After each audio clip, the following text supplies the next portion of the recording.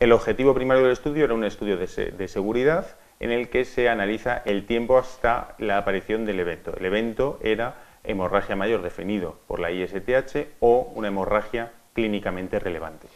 Hay que destacar también que esto es un estudio eh, con un diseño de no inferioridad en cuanto a eventos embólicos, definido como infarto, ACV, necesidad de nueva revascularización o embolismo sistémico.